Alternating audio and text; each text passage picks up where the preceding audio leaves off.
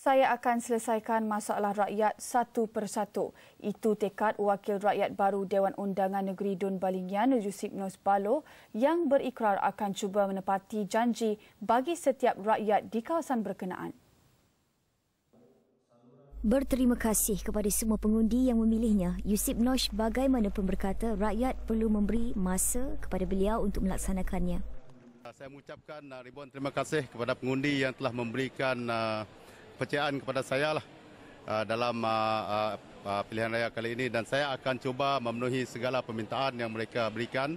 Uh, tidak semu, uh, tidak semestinya kita uh, dapat uh, menjalankan ataupun uh, implement uh, uh, perkara tersebut dalam setahun dua tapi uh, kita akan buat secara konsisten lah.